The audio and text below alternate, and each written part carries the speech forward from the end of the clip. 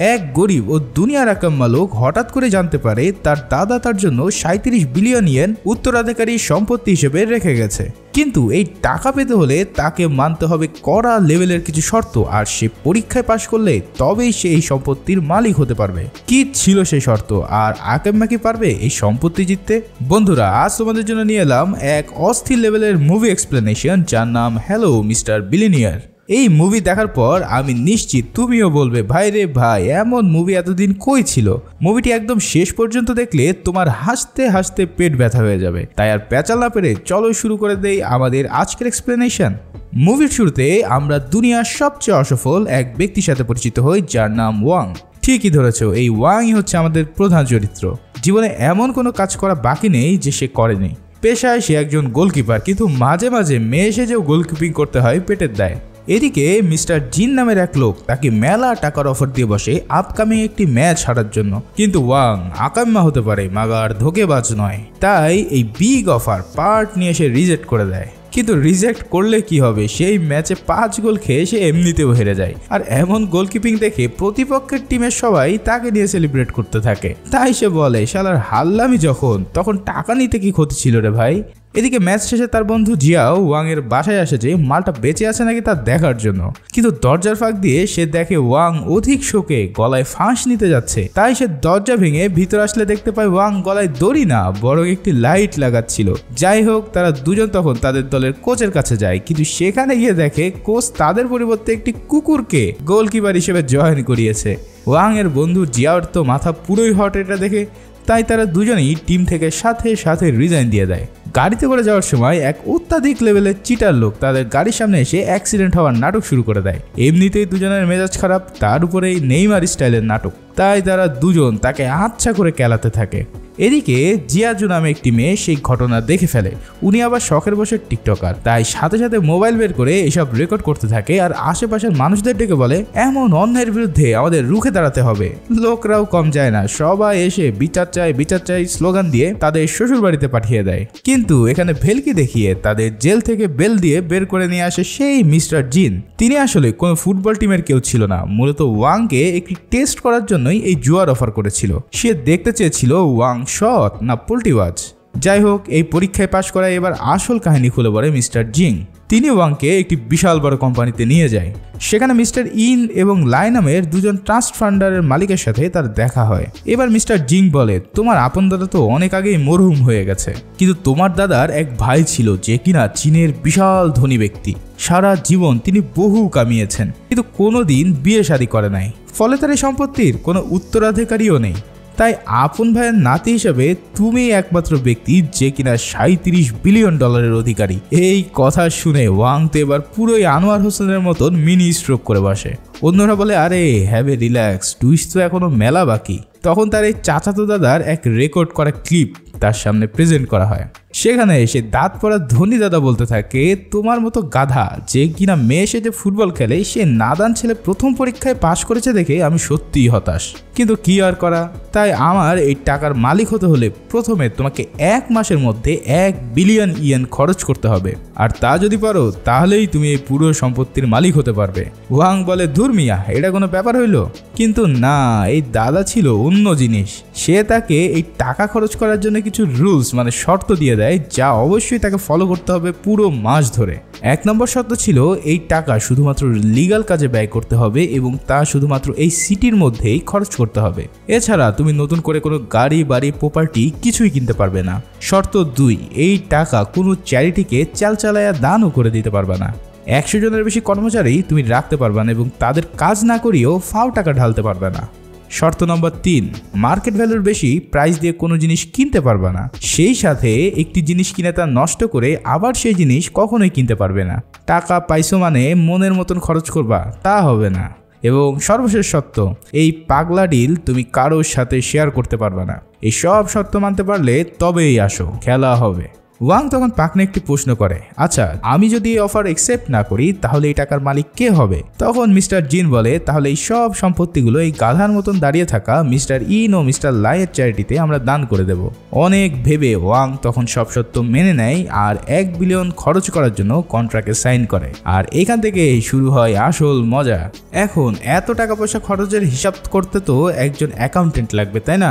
তাই মিস্টার জিং একটি মেয়েকে অ্যাপয়েন্টমেন্ট করে, আর সে ছিল সেই টিকটকার ওরফে জিয়া জু, তাকে দেখেই তো ব্যাটার পুরোই মেজাজ খারাপ হয়ে যায়। ওয়াং তখন বলে, তোরেই তো খুঁজতেছি বেটি, তোর জন্য আমার জেলের ভাত খাওয়া লাগছে। টিকটকারও কম না, সেও সাফ জানিয়ে দেয়, এই খ্যাত পাবলিকের সাথে সে কাজ করবে না। কিন্তু ওয়াং বলে, আমার এরই চাই। মেলা হিসাব নিকাজ এর সাথে বাকি আছে। এরপর বাধ্য হয়ে জিয়াজু তার কাজ করতে রাজি হয়। এবার পালা এত টাকার একটি ঝলক দেখার। বিশাল এক বাংকারে তাদের নিয়ে যাওয়া হয় আর সেখানেই থরে থরে টাকার গোডাউন দেখে ওয়াং ও তার বন্ধুর প্যান্ট পুরাই ডাউন হয়ে যায়। বাপ ক্যান তার একশো গোষ্ঠীর মধ্যেও এমন টাকা কেউ কখনো একসাথে দেখে নাই। তাদের হুশ ফিরে আসলে এবং ওয়াং বলে, চলো, আমাদের প্রথম টাকা ওড়ানো শুরু করা যাক।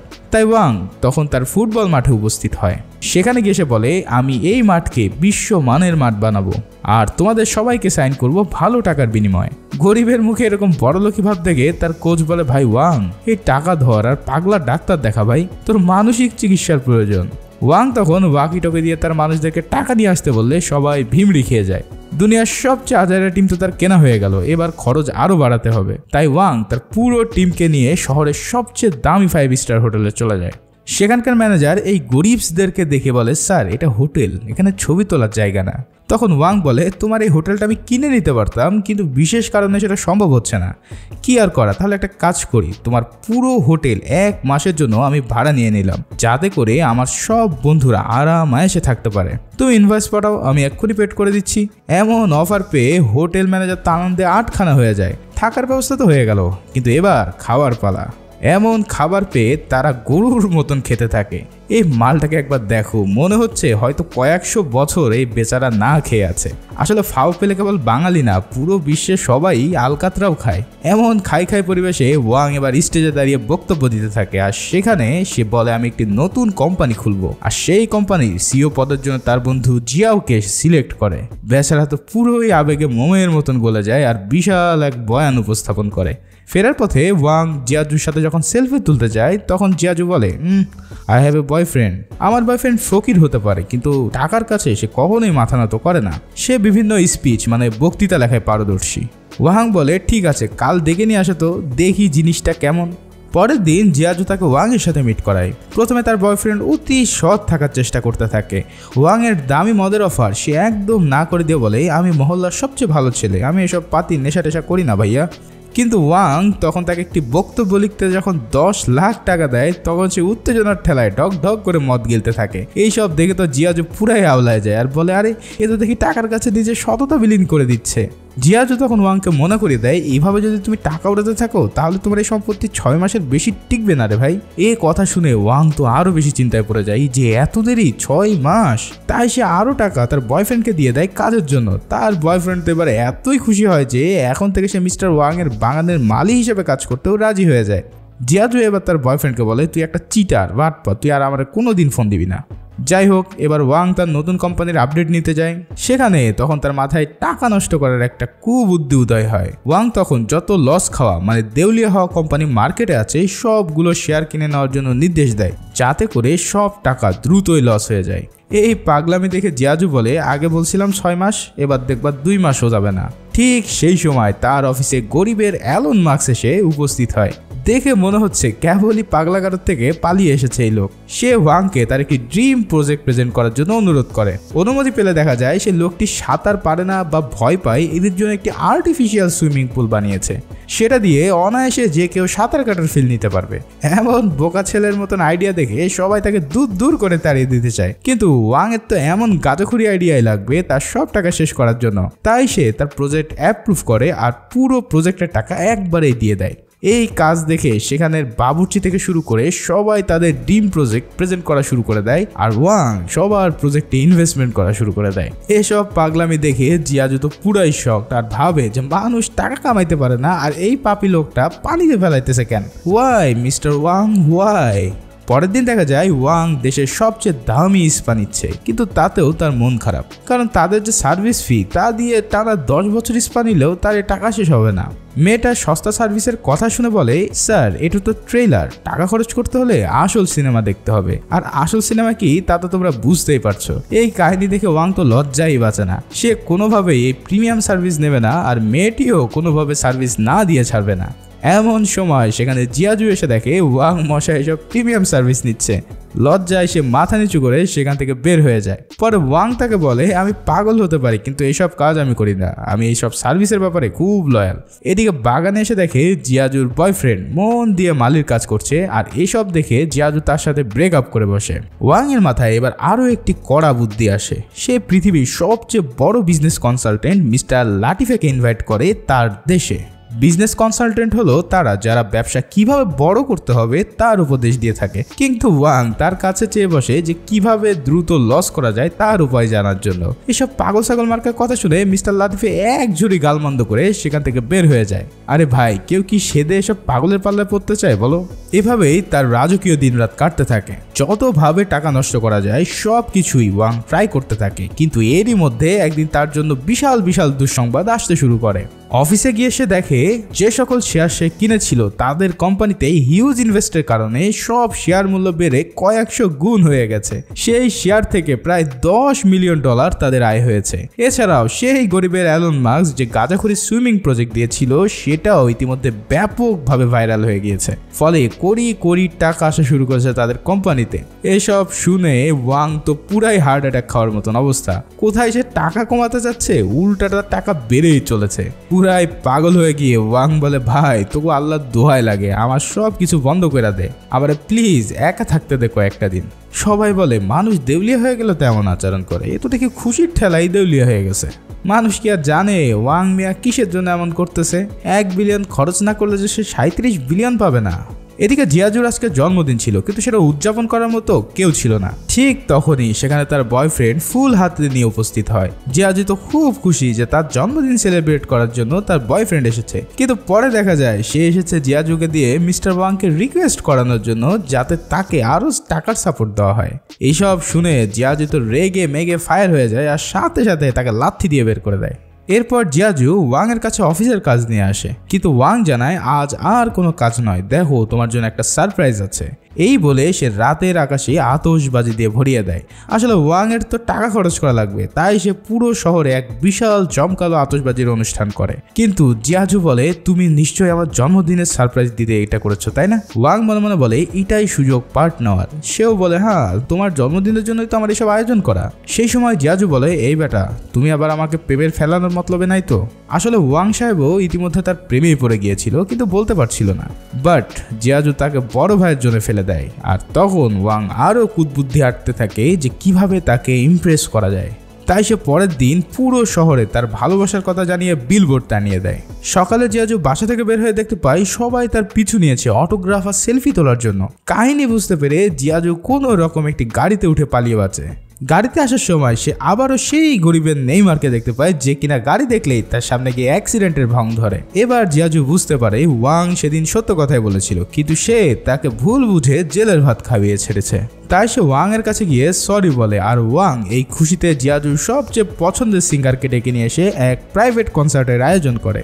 এই কনসার্ট জিয়াজুর অনেক পছন্দ হয় আর সে সারা রাত ধরে উপভোগ করতে থাকে। কিন্তু এত কিছুর পরেও তার বিভিন্ন ইনভেস্টমেন্ট থেকে টাকা বেড়েই চলেছে। তাই এবার সে তার বেস্ট বুদ্ধির চাল দেয় যে সব টাকা হাওয়া করার জন্য। সে পুরো শহরের প্রেস ও মিডিয়াকে ইনভাইট করে এক পাগলাটে ঘোষণা দিয়ে বসে। ওয়াং বলে, আমি নতুন একটি ইন্স্যুরেন্স খুলতে যাচ্ছি, যেখানে সবাইকে ওয়েট লস মানে ওজন কমানোর চ্যালেঞ্জ জানাচ্ছি।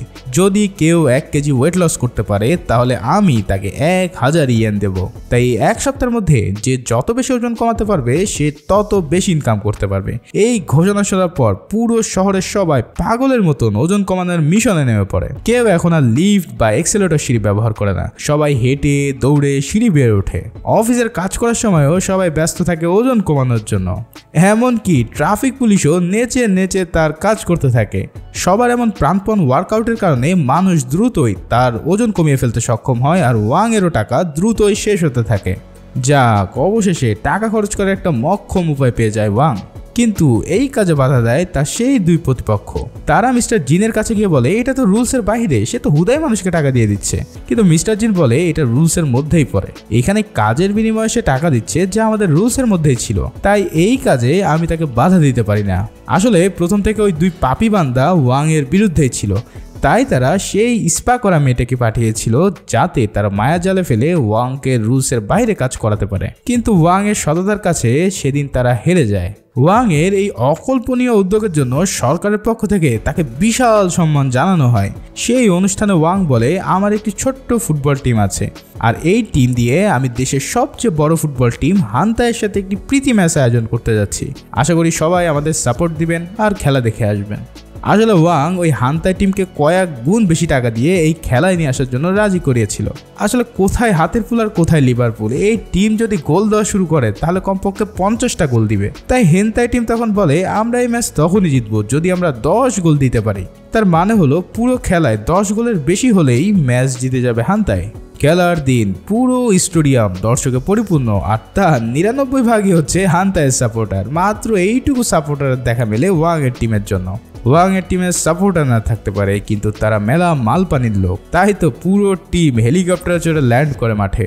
ওয়াং এর দলের প্লেয়ার বুদ্ধি করে অন্য দলের ক্যাপ্টেনের বউকে নিয়ে দুষ্টু মন্তব্য করতে থাকে। ইতে করে রক্ত গরম হয়ে গেলে এক ঘুষি বসিয়ে দেয় তার বন্ধুর নাকে। ফলাফল তাকে রেড কার্ড দিয়ে বের করে দেওয়া হয়। কিন্তু তারপরে ওয়াং এর দল হাফ টাইমের আগে আট গোল খেয়ে বসে। হাফ টাইমে তারা ব্রাজিলের কোচ তিতের মতন শক্তিশালী ডিফেন্সের প্ল্যান করে মাঠে নামে। আর যাই হোক, কোনো গোল খাওয়া যাবে না। তাই তারা সবাই মিলে একজনকে ঘিরে ধরে। তবুও তারা আরও এক গোল খেয়ে যায় আর এরপর তাদের সকল প্লেয়াররা গোল পোস্টের সামনে দাঁড়িয়ে যায় গোল আটকানোর জন্য। একের পর এক শট তাদের প্লেয়ার ঠেকাতে থাকে। কেউ মুখ দিয়ে, কেউ হাত দিয়ে, আবার কেউ বংশধরের মেশিন দিয়ে। এভাবেই একে একে সব গোল ঠেকিয়ে পুরো খেলার সময় পার করে দেয় আর সেই ম্যাচ শূন্য নয় গোলে জিতে যায় ওয়াং এর টিম ট্রফি দেওয়ার সময় সেই হান্তার টিমকে ট্রফির মধ্য থেকে ট্রফির একটা বাচ্চা উপহার দেওয়া হয়। এরই মাঝে ওয়াং এর কাছে কল আসে যে জিয়াজুকে কারা যেন কিডন্যাপ করেছে। তারা দশ মিলিয়ন ইয়েন দাবি করে বসে ওয়াং এর কাছে। ওয়াং এর কাছে এই টাকা তো কোনো ব্যাপার না, কিন্তু নিয়ম অনুযায়ী সে শুধুমাত্র নিজের জন্যই টাকা খরচ করতে পারবে। তাই হয় তাকে রুলস ভেঙে টাকা দিতে হবে, অন্যথায় জিয়াজুকে হারাতে হবে। এ তো এক কঠিন সমীকরণে পড়ে গেল ওয়াং। সে এবার মিস্টার জিনের কাছে দশ মিলিয়ন টাকা ধার চায়। কিন্তু জিন তাকে বলে, আমি এই বিষয়ে কোনো হেল্প করতে পারব না। আসলে এটা ছিল ওয়াং এর সর্বশেষ পরীক্ষা। তার দাদা জানতে চেয়েছিল ওয়াং এর কাছে টাকা বড় নাকি মানবিকতা বড়? মূলত মিস্টার জিনি জিয়াজুকে কিডন্যাপ করেছিল আর তাকে সব খুলে বলেছিল। জিয়া তো বলে, এত টাকার জন্য ওয়াং মিয়া আমাকে কখনোই বাঁচাতে আসবে না। কিন্তু সবাইকে অবাক করে দিয়ে ওয়াং তার সব টাকা লোভ ছেড়ে দশ মিলিয়ন টাকা নিয়ে চলে আসে জিয়াজুকে বাঁচানোর জন্য। বেচারা মেলা কান্না করতে থাকে আর বলতে থাকে, আরে বেটি কিডন্যাপ হওয়ার আর সময় পাইলি না। আর কয়দিন পরে হইতি? টাকার চেয়ে মানবতাকে প্রাধান্য দেওয়ায় তাকে পুরো সম্পত্তির মালিক বানিয়ে দেয় তার দাদা। এছাড়াও জিয়াজু পেয়ে যায় তার আসল ভালোবাসার মানুষকে। এরপর কেটে যায় বেশ কয়েকদিন আর এরই মধ্যে জিয়াজু প্রেগনেন্ট হয়ে যায়। এবার তার এক ফাউন্ডেশনে যায় তাদের সকল সম্পত্তি দান করার জন্য। কিন্তু ফাইনাল সাইন করার আগেই হুট করে তাদের মাথায় আসে, আরে, আমাদের সন্তানদের জন্য তো কিছু রেগে দেওয়া হলো না। আমরা তো মেলাই এনজয় করে ফেলছি, কিন্তু আমাদের সন্তানের জন্য তো কিছু টাকা রাখার প্রয়োজন, তাই না? তাই তারা ম্যানেজারের কাছে একটু সময় নেয় একটা লিস্ট করার জন্য যে বাচ্চা হওয়ার পরে তার কি কি প্রয়োজন হবে। কিন্তু এই লিস্ট আর শেষ হয় না। দিন গড়িয়ে রাত হয়ে যায়, কিন্তু এদের লিস্ট করা শেষই হয় না। আর এরই মধ্যে দিয়ে মুভিটি এখানেই শেষ হয়। তোমাদের কি মনে হয় অদতেও কি তারা টাকা ডোনেট করতে পারবে? তোমাদের মতামত কমেন্টের মাধ্যমে জানাতে ভুলো না কিন্তু। ভিডিওটি ভালো লেগে থাকলে লাইক ও শেয়ার করতে ভুলো না। আর একদম নতুন হয়ে থাকলে প্লিজ সাবস্ক্রাইবটা করে দিও। সবাই ভালো থাকো, সুস্থ থাকো, ধন্যবাদ।